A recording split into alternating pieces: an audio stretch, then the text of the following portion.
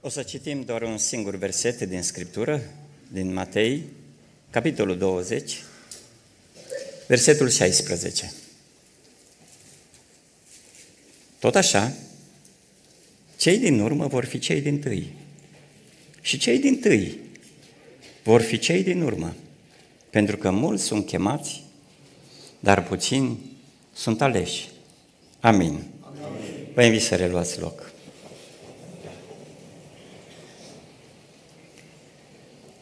Slăvit să fie Domnul care ne-a binecuvântat și în această dimineață să fim la casa de rugăciune, la locul de închinare. Îi mulțumesc fratelui Alin pentru invitație. Vă mulțumesc și dumneavoastră că m-ați primit. Domnul să binecuvânteze Biserica Protector. De când am fost ultima dată la dumneavoastră, parcă v-ați mai mulțit. Și s-a mărit și biserica. Și îmi spunea Alin, înainte de a începe slujba, că pot să mai fie extinsă și în spate și în lateral, așa încât la un moment dat să aibă vreo 800 de locuri. Să o facă Domnul și pe aia neîncăpătoare. E foarte important când um, venim la închinare să știm că Domnul este prezent aici. Am fost foarte atent la ceea ce s-a spus, la ceea ce s-a făcut de la început în uh, slujirea dumneavoastră și mi-am regăsit mesajul în unele din cântări și din îndemnuri. Pentru că Duhul Sfânt este la lucru, slăvit să fie Domnul, de aceea am o încredere că Dumnezeu va vorbi și în această dimineață pe înțelesul nostru, îmi va vorbi mie în primul rând, pentru că atunci când am venit aici am zis, Doamne, fă mesajul ăsta să fie și pentru mine o binecuvântare. Slăvit să fie Domnul că a lui cuvânt este o sabie cu două teișuri. El taie și înainte, dar și spre cei ce îl folosesc. Așa că întotdeauna cuvântul lui Dumnezeu uh, vestit de către cei din locul acesta, să știți că întâi îi vizează pe ei, pe cei ce vestesc cuvântul. Și, spre exemplu, dacă vorbesc despre dragoste, sau despre dărnicie, sau despre milă, sau despre credincioșie, imediat după mesajul ținut, se întâmplă adesea că Dumnezeu exact la capitolul acela să mă testeze. Da? Ai vorbit, ai spus, dragoste. Ia să vedem noi cât iubești tu. Ia să vedem noi cât dăruiești tu. Ia să vedem noi cât ești tu de curat sau de neprihănit și așa mai departe. Ei, dragii mei, ă, este foarte important în vremea asta de pe urmă să conștientizăm că Dumnezeu are pentru fiecare dintre noi de lucru în biserică. Într-un organism, așa cum este numită Biserica Domnului Isus Hristos, nu este niciun mădular în plus. Ba din potrivă, mădularele din trupul nostru care nu sunt la vedere, care nu ies aici în față, care nu sunt cunoscute, sunt cele mai importante. Sunt slujbe care se fac în biserică, care n-au de-a face cu locul acesta din față, dar pe care Dumnezeu le consideră foarte importante și vitale pentru biserică, așa că, așa ca într-un organism, omul poate să trăiască și fără o mână, spre exemplu, sau fără un picior. Sau și fără ambele mâini și ambele picioare, nu? E acel frate care umblă prin biserici și vestește Evanghelia, el nu are nici mâini, nici picioare. Îl duc alții și îl pun pe un stativ acolo și el predică Evanghelia și este o mare binecuvântare pentru cei ce ascultă mesajul lui. Dar oare ar putea supraviețui un organism fără inimă? Fără plămâni? Astea nu se văd. Astea sunt acolo, în taină, în ascuns. Tot așa, în Biserica Domnului Isus Hristos, sunt slujbe la care El ne cheamă pe unii dintre noi, care nu se văd, nu sunt aici în față, dar sunt vitale. Și o să vă dau exemplu din Scriptură despre o astfel de slujbă, mai târziu, fără de care nu se poate, fără de care nu există o biserică. Nu putem vorbi de copiii ai lui Dumnezeu. Dar până atunci aș vrea să știți și să fim conștienți cu toții că nu este persoană în locul acesta la care Dumnezeu să n-aibă de lucru. Ieri am trăit pe vremea comunistă și pe vremea aceea era politica ca orice întreprindere să angajeze. Și erau întreprinderi care aveau un număr de angajați. Dar pentru că politica comunistă era ca nimeni să nu rămână fără loc de muncă, erau obligați în anumite întreprinderi să te primească și să-ți caute ei ceva de lucru chiar dacă nu aveau nevoie de tine. Că era interzis să fii om în societatea comunistă și să nu lucrezi. Foarte puțini se fofilau și nu munceau. Da? Dar obligatoriu era să găsești un loc de muncă. Și atunci, anumite întreprinderi făceau eforturi disperate să găsească oamenilor locuri de muncă, pentru că asta era politica. Ei, la Dumnezeu nu e așa. El nu este depășit de numărul de copii ai lui care vin într-o biserică și să spună pentru 10-20% din biserică am de lucru pentru ceilalți, sunt iubiți ascultători. nu e așa. nu e așa. Dar din nefericire, după unele cercetări din biserici, între 10 și 20% din biserică fac ceva, slujesc cu ceva. Și ceilalți sunt doar consumatori de programe. Ei, în dimineața aceasta, mă rog lui Dumnezeu să trezească în noi dorința de a ne cunoaște chemarea și de a răspunde chemării pe care Domnul a făcut-o fiecăruia în dreptul nostru. Cunoașteți întâmplarea aceea din Sfânta Scriptură? Când Mântuitorul vine și dă talanți, sau stăpânul dă talanți, la unul cinci, la unul doi și la unul unu. Nu ne spune Scriptura că ar fi avut mai mulți slujitori de trei. Asta era exemplu. Dar vrea să ne spună că pe unii Dumnezeu îi binecuvântează cu mai multe daruri, pe alții cu mai puține, dar nici unul din via lui nu este fără cel puțin un talent, fără cel puțin un dar, fără cel puțin o lucrare pe care trebuie să o împlinească. Dragii mei, nu este slujbă mai mare sub soare, chemare mai înaltă, decât chemarea pe care ne-o face Dumnezeu nouă, ca și copiii lui Dumnezeu. Slujbele de cinste, de slavă din lumea aceasta sunt trecătoare. Stăteam de vorbă cu primarul sectorului 5, cel dinainte, și îi spuneam, domnul primar, dumneata ești pentru o perioadă aici. Biserica a fost și va rămâne. De ce să nu lucrăm împreună. Noi ne rugăm pentru dumneavoastră. Noi facem ceea ce ne poruncește Dumnezeu să ne rugăm pentru autorități. Dar dacă dumneavoastră vă opuneți lucrării lui Dumnezeu, să știți că nu nouă ne vă opuneți. El ne deschisese pe vremea aceea două procese împotriva bisericii. Și bineînțeles, biserica s-a apărat. Și am deschis și noi un proces de abuz în funcție. Și îmi zice, dacă închideți procesul împotriva mea, îl închid și eu. Cum să nu, domn primar? Că noi nu suntem chemați la să ne războim cu dumneavoastră. Dar opriți-vă din abuzuri, să dărâmăm gardul, să lăsăm... Deci el vrea să facă mai dan acolo. Și am zis, asta nu se poate. Voi faceți ceva ce Dumnezeu nu vrea și Dumnezeu vă stă împotrivă.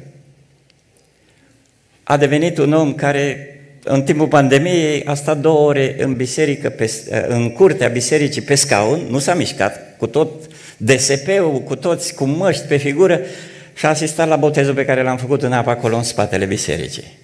Dintr-un dușman ne-a devenit prieteni. Pentru că Dumnezeu schimbă inimile oamenilor. Dumnezeu este Cel ce schimbă inimile oamenilor. Slăvit să-i fie numele în veci. Este foarte important, dragii mei, să știm că Dumnezeu are pentru fiecare din noi o chemare înaltă, specială. Nu-i nimic mai măreț sub soare decât să fii chemat în slujba Domnului Isus Hristos. Funcție de cum răspundem acestei chemări, devenim în urma răspunsului nostru la chemarea lui Dumnezeu aleși sau nealeși. Mulți sunt chemați, dar puțini sunt aleși. Doamne, fă toată biserica protector să facă parte dintre cei chemați și aleși. Amin? Domnul să ne ajute la aceasta. Stăteam de vorbă săptămâna trecută cu un frate de la noi din biserică și apreciez pe cei ce vin de la distanțe mari ca să se închine împreună cu dumneavoastră. Și îmi spunea fratele Alin că fratele vine de undeva, nu știu, din, de la Ploiești. Domnul să-l binecuvânteze. Avem și noi o familie din uh, Târgoviște care s-a botezat la noi în urmă cu ceva ani de zile, vreo doi, doi ani jumate, cam așa. Și am spus, mă, oameni buni, veniți de la, Ploiești, de la Târgoviște până la Filadelfia, în București. Aveți două biserici penticostale, cel puțin în Târgoviște. De ce nu mergeți acolo? Și nu, frate, noi aici vrem să venim. Și veneau duminică dimineața, duminică seara, joi seara, vineri seara, erau prezenți la biserică. Și eram, și sunt uimit de ei. Sunt uimit pentru că eu nu știu dacă aș fi în stare să fac asemenea eforturi pentru a ajunge la biserică. Și săptămâna trecută mă abordează fratele și îmi spune, eu lucrez în construcții și împreună cu fratele meu suntem angrenați într-o firmă de construcție. Este a noastră firmă. Dar în ultima vreme, spunea el, s-a întâmplat ca să nu mai avem lucrări. Și suntem la limita de supraviețuire cu banii. Noi doi, frații din Târgoviște, având firma asta, avem doi frați în Germania, care și ei au o firmă de construcție acolo. Și fratele, unul din frații mei din Germania mi-a zis, nu sta acolo. Eu am atâta de lucru aici, vin o să-ți dau de lucru. Și mi-a promis un salariu bun, să mă duc pentru că lucrez în construcții. Mi-a promis să mă duc acolo ca să mă ajute. Două, trei luni să lucrez, mai vin acasă, o săptămână, două, iar mă duc. Dar a zis, dacă eu mă duc în Germania și lucrez acolo, cine mi-aduce familia la biserică? Noi ne rupem de biserică. Noi nu mai putem să fim aici. Și o să înceapă familia mea să se obișnuiască fără biserică. Și atunci a spus el, am spus fraților mei, mulțumesc frumos, dar eu rămân în țară.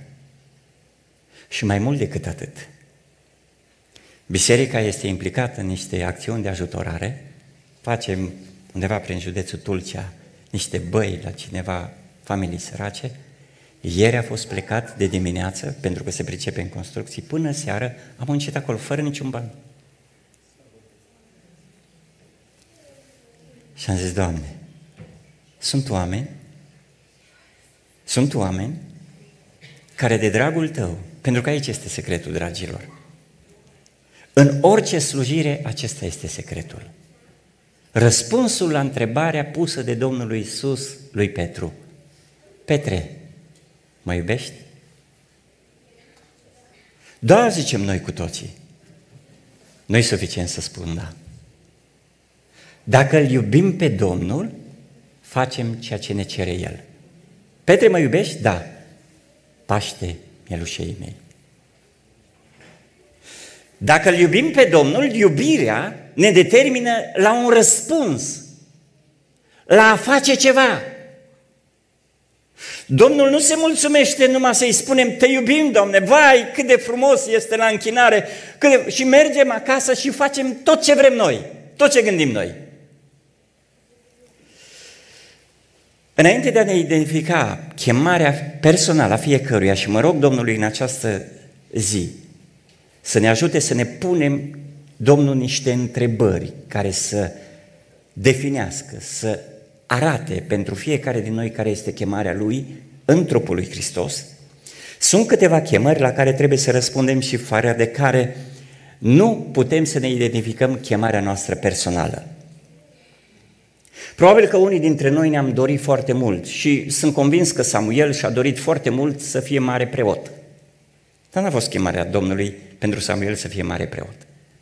Eli a falimentat în preoție. Eli a fost omul care, fiind pus în funcție, n-a făcut ce îi plăcea Domnului. Pentru că pot să fie oameni puși în funcție și să nu facă voia lui Dumnezeu. Să-și caute propriile interese. Și Pavel spunea la un moment dat, în adevăr, cei mai mulți umblă după foloasele lor și nu după ale lui Hristos. Pentru că cel chemat de Hristos întotdeauna va căuta să facă ce îi spune Domnul, ce îi spune Hristos.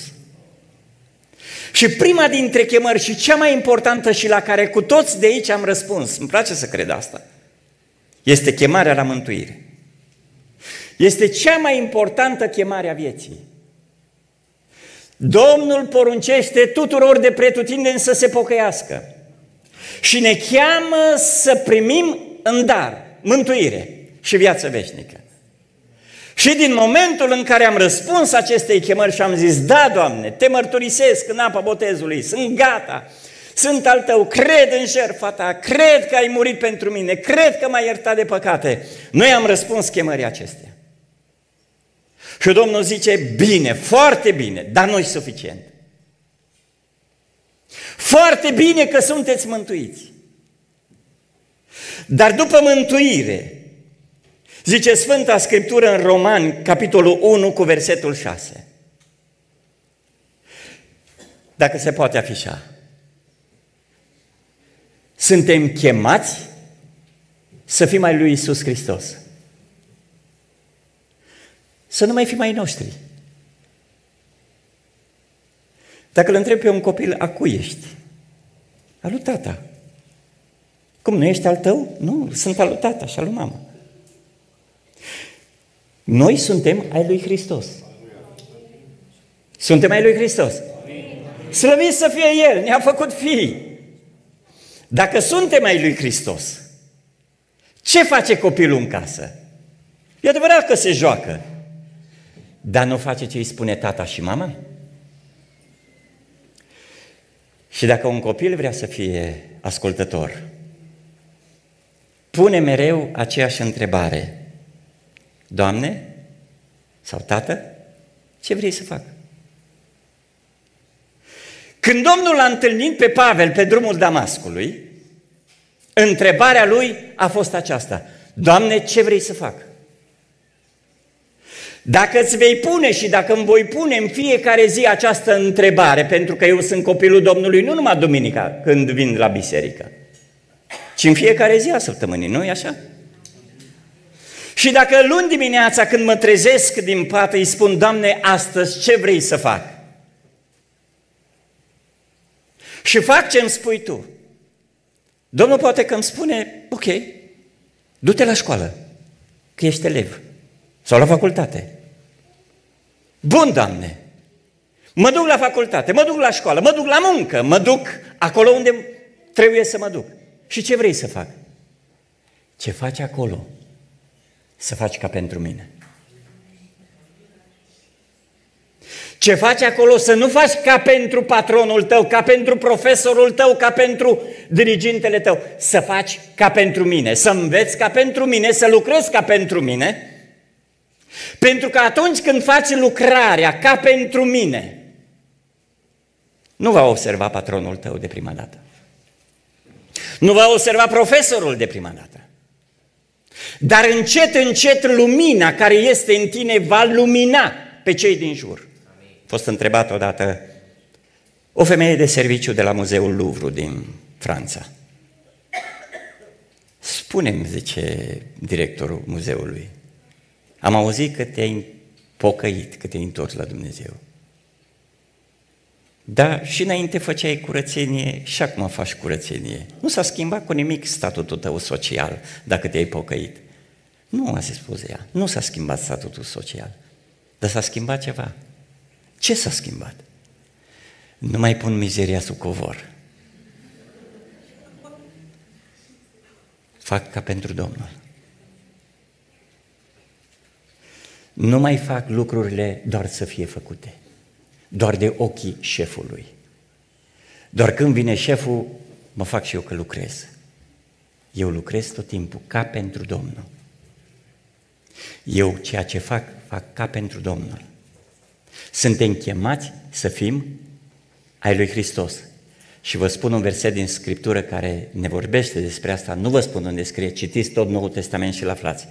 Și orice faceți, să faceți din toată inima ca orice. Adică și când intru în biserică și văd o hârtie jos, zic, Doamne, asta e casa Ta. Ce dacă sunt păstor? Ce dacă sunt, știu eu, diacon sau cântăreț? Mă plec și iau hârtia aia și o pun în coș, nu chem femeia de serviciu să ia hârtia. Pentru că e casa Domnului și o cinstesc. Mă îmbrac ca pentru Domnul. Nu-i foarte ciudat că atunci când vrem să ne întâlnim, știu eu, cu un parlamentar, cu un primar, cu un președinte, nu știm cum să ne uităm în garderobă și ce haine să alegem de acolo ca să fim prezentabili. Și când venim la casa Domnului? Să ne ajute Domnul, să ne ajute Domnul să ne îmbrăcăm ca pentru El. Nu numai în casa Domnului. Nu numai în casa Domnului. Dragii mei, există, așa cum vă spuneam mai devreme, o chemare a lui Dumnezeu, tot pentru toată biserica, care este de fapt inima bisericii, motorul bisericii. Fără de asta nu există o biserică. Există, așa cum spuneam Mântuitorul la un moment dat, o sinagogă a satanei, a celui rău. Fără această chemare, zice Romani, capitolul 1 cu versetul 7. Deci vouă tuturor care sunteți prea iubiți al lui Dumnezeu în Roma, chemați să fiți sfinți. Suntem chemați la sfințenie. Și sfințenia se arată în cugetul nostru, în privirile noastre, în gândurile noastre, în trăirea noastră, în ceea ce facem noi. Amin, Amin frați și surori? Sfințirea începe din lăuntru, de unde nu se vede. Aici noi câștigăm sau pierdem bătălii. Aici ni se întinează mintea sau ne este curată mintea. Și noi suntem chemați să fim sfinți. Și spunea Domnul unei biserici din cartea Apocalipsa.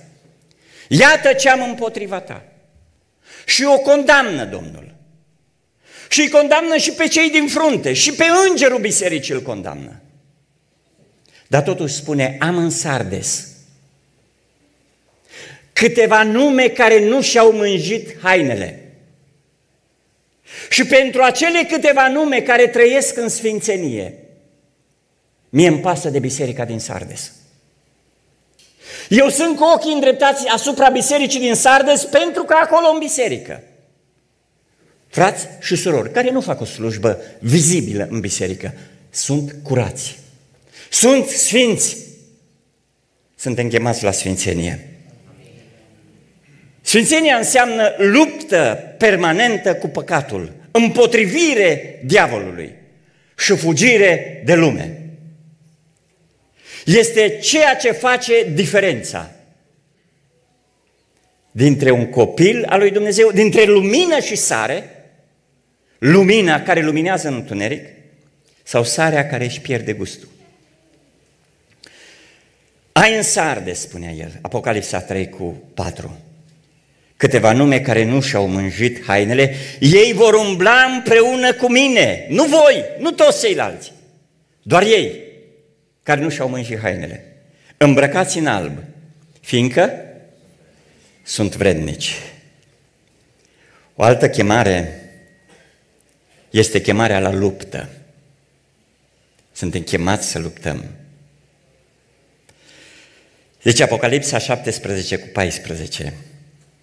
Ei se vor război cu mielul, dar mielul îi va birui, pentru că El este Domnul domnilor și Împăratul împăraților.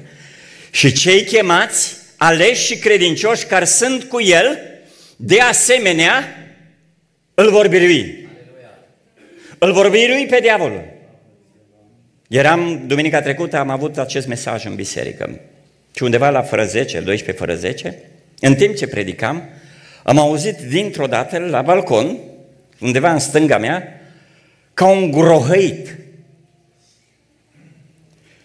Un zgomot ciudat, nefiresc. Să știți, frați și surori, câtă vreme n-a fost Isus în sinagogă, demonizatul de acolo a stat liniștit. Și au predicat atât de mulți în sinagogă și nu l-a deranjat niciodată pe acel demonizat. Când Isus a venit să predice în sinagogă, a început să se manifeste și demonizatul din sinagogă. Citiți în Scriptura asta. Pentru că atunci când Evanghelia este predicată cu putere diavolului, nu-i place. Biserica unde se face voia lui Dumnezeu și unde se manifestă prezența lui Dumnezeu, să nu vă sperie, să nu vă mire. Diavolul e deranjat. Și atunci va căuta să ne sperie prin manifestări din acestea grotești, demonice. Iisus l-a biruit. Și noi suntem biruitori împreună cu El, spune Sfânta Scriptură. Amin? Slăvit să fie Domnul! De diavolul Scriptura ne spune să nu fugim. Să nu fugim. Lui trebuie să ne împotrivim, să fugim de lume. Adică nu-mi iau eu ca și Samson odinioară să zic, eu sunt sfânt alesul lui Dumnezeu, uns de Duhul Sfânt plin, eu pot să mă duc la Timna și să mă distrez cu fetele filistenilor. Nu, nu, nu. Pavel zice, fugi, fugi de poftele tinereții. Fugi de locul acela unde poți să fii singur numai tu și acolo în singurătatea ta sau știu eu în locul acela diavolul să te prindă și lumea să te prindă și poftele tale să te biruie. Fugi. Taie firul, închide site-ul. Amin? Că noi suntem biruitori față de lume atunci când fugim de ea. Nu când ne credem noi puternici ca Samson sau înțelepți ca Solomon. Că n-a fost nimeni atât de înțelept. Și el a fost biruit de pofte. Ci adevărata biruință stă că avem puterea să renunțăm, să fugim, să plecăm, să nu stăm acolo. Amin? Domnul să ne binecuvânteze. Când în viața noastră îl urmăm pe Domnul, vreau să știți că diavolul ni se împotrivește. Și vine în mintea ta și spune, de ce să te duci și să te implici în lucrarea aia? Că nu o să ai timp, știu eu, de, de muncă, nu o să ai timp de, de familie, nu o să ai timp de, nu o să ai timp de. Pentru că într-o bună zi Dumnezeu a văzut că poporul Israel era în mare strâmtorare. Și s-a dus să caute un om. Vreau să vă spun, dragii mei, că sunt convins și cred cu tărie că Dumnezeu va aduce trezire spirituală în România prin tineri. Am citit un verset uh, la începutul vorbirii mele că cei din urmă vor fi cei din tâi. Se ridică unii astăzi și tot vorbesc despre vremurile de odinioară. Ce bine a fost atunci. Dar dacă ei au trăit în vremurile de odinioară și ne tot spun cât de bine a fost atunci, de ce nu este și astăzi? De ce nu sunt ei oamenii care să aducă acele vremuri bune? Și de ce? Pentru că au rămas doar o aramă zângănitoare. Sunt goi. Și trăiesc din amintiri, și trăiesc uh, cu, cu frustrări, și au un duh de critică și de nemulțumire. De aceea Mântuitorul a zis, am să fac ceva. Am să-i pun pe cei din urmă cei din tâi. Și când stăpânul viei s-a dus să le dea bani la cei ce au muncit în vie și a început să le dea celor din urmă, celor din ultimul ceas, câte un leu. Cei ce au lucrat de dimineață, cei ce au fost de dimineață acolo și au zis cu siguranță stăpânul nou o să ne dea cel puțin 10 lei, că am lucrat cu 10 ore mai mult decât cei din ultimul ceas. Hai nu 10, dar măcar 9. Hai nu 9, 5 măcar. Și ne-am aranjat. Că un leu era plata pe o zi de muncă. Era plata pe o zi de muncă, un leu. Da. calculat la vremea aceea. Și Mântuitorul nu face așa. Și cei de dimineață încep să cârtească. Se spune, Doamne, dar noi am suportat zăduvul zilei. Dar noi am fost lângă Tine de la început. Dar noi am muncit de 10 ori mai mult decât ăștia de pe urmă. Cum se face? Este nedreptate la tine, i-au zis. Și zis, Domnul, nu este nicio nedreptate. Cu cât m-am tocmit cu voi? Cu un leu. Nu v-am dat? Dacă eu vreau să dau celor de pe urmă cât v-am dat și vouă, nu pot face ce, ce vreau cu ce este al meu?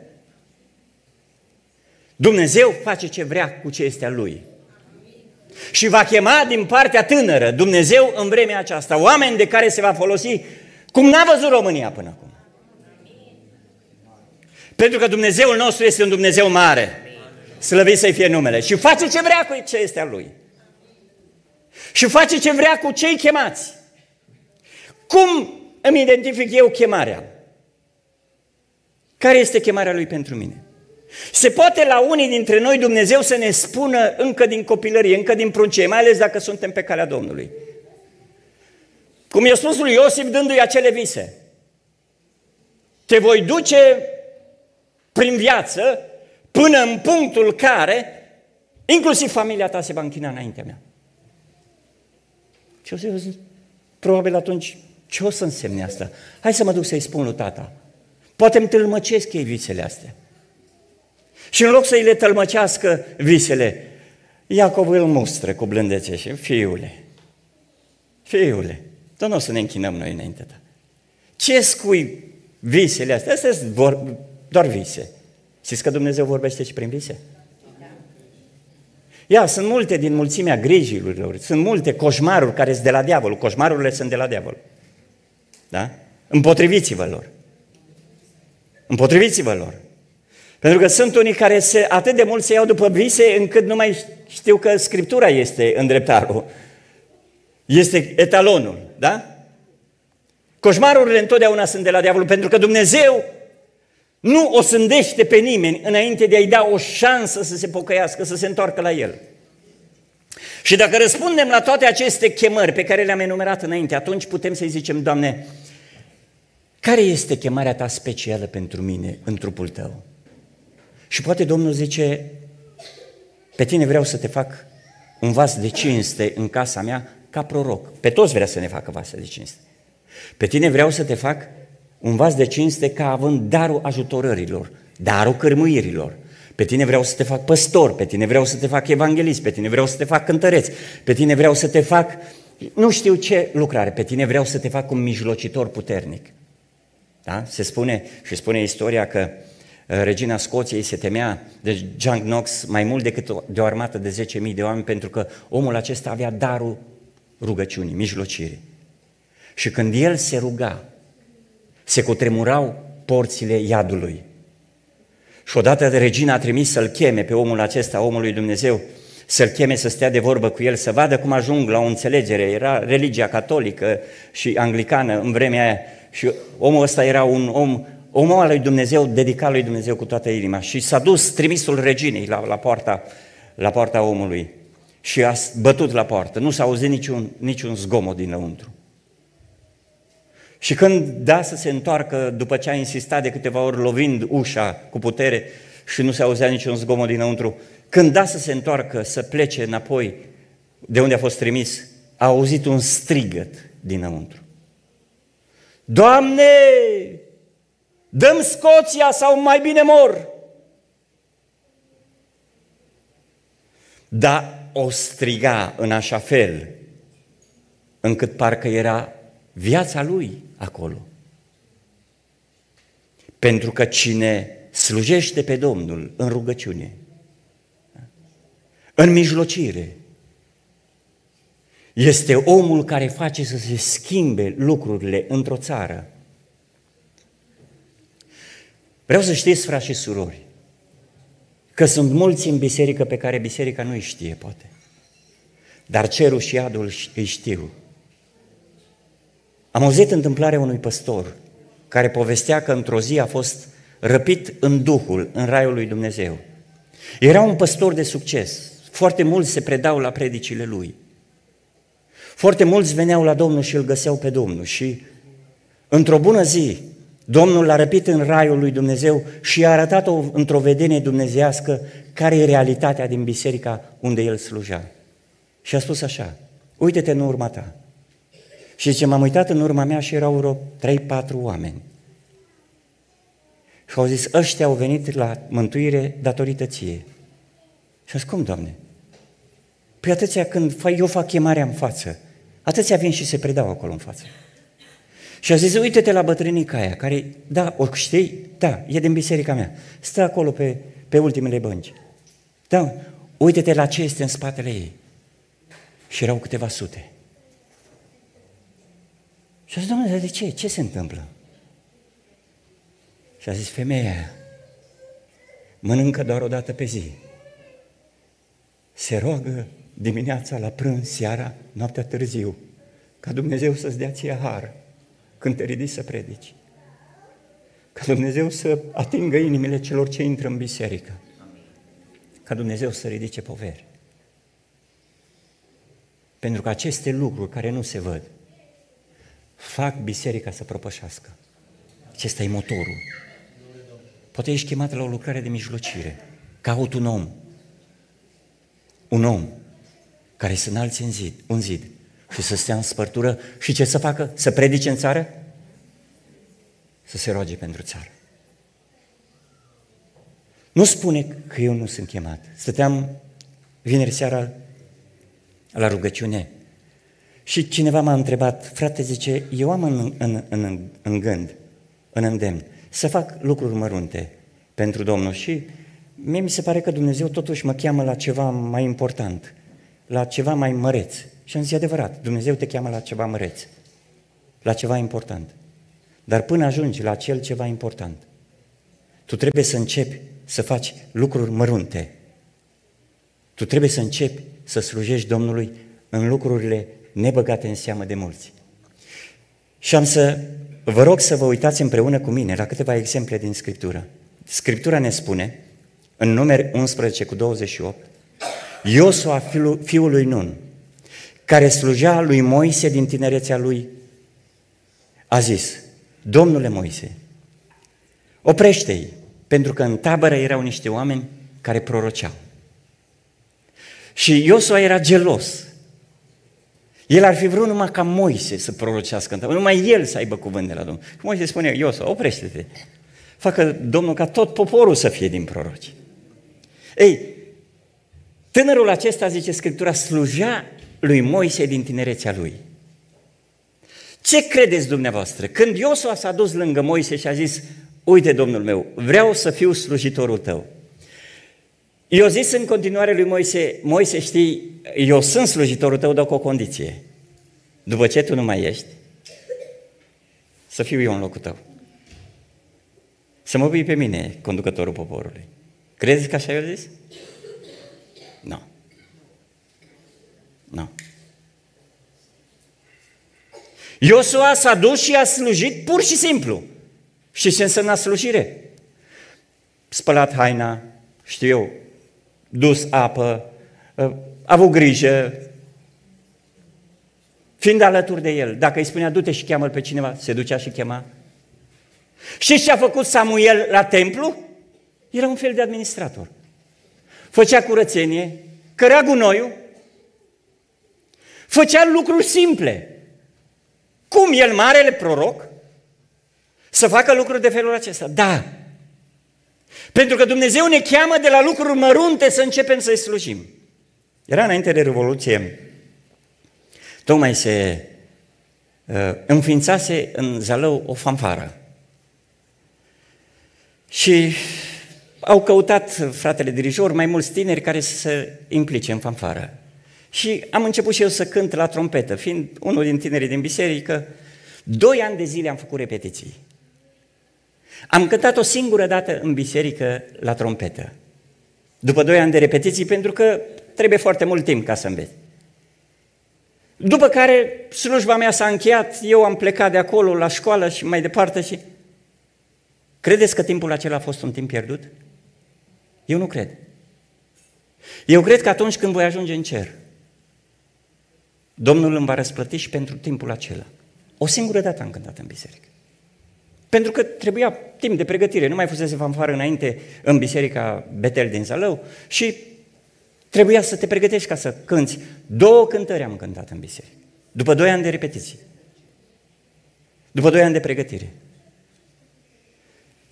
Pentru că Dumnezeu ne cheamă întâi să facem lucruri mărunte. Fă mâncare în casă, ca pentru Domnul. Fă curățenie, ca pentru Domnul. Fă ceea ce faci în biserică, ca pentru Domnul.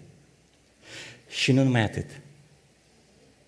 Dacă o faci ca fiul nerisipitor, slujirea îți devine o povară și te nemulțumește. Și îi spui, eu slujesc de atâta vreme în biserica protector și nimeni nu mă bagă în seamă.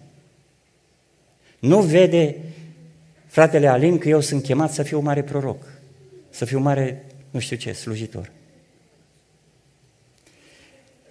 Spune Scriptura despre Elisei, care a făcut de două ori minuni cât a făcut Ilie. Și a prorocit mult mai mult decât Ilie. Că tot timpul cât Ilie prorocea, nu i-a zis măcar o dată, lasă-mă și pe mine să prorocesc de data asta. Și ce făcea Elisei? Era un fel de robinet. Turna apă pe mâinile lui Ilie. Și era suficient. Pentru că slujirea în casa Domnului începe de la lucrurile mărunte. De la lucrurile nebăgate în seamă. Domnul Iisus Hristos, până la vârsta de 30 de ani, câte predici frumoase n-ar fi putut ține? Câte minuni și vindecări n-ar fi putut face Mântuitorul? Era Fiul lui Dumnezeu și până la vârsta de 30 de ani. Și ce spune Ioan capitolul 2? Acest început al semnelor l-a făcut Iisus în Cana din Galileea. Și am zice noi 30 de ani pierduți, irosiți. Nu, n-au fost pierduți. N-au fost irosiți. Nu s-au pierdut acei 30 de ani. Pavel, după ce a fost chemat pe drumul Damascului, zice Sfânta Scriptură că Dumnezeu l-a dus în Asia. 14 ani de zile sunt două propoziții cu privire la tot ce a făcut el în 14 ani de zile. Și am zis și noi, un timp pierdut. Nu timp pierdut.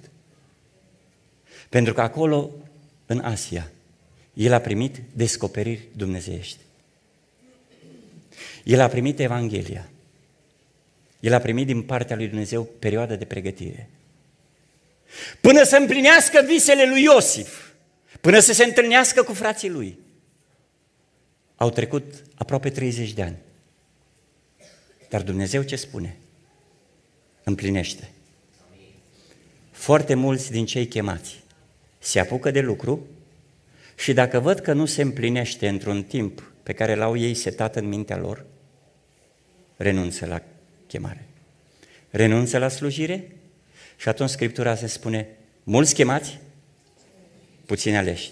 Știți care sunt aleși? Cei care rămân în continuare.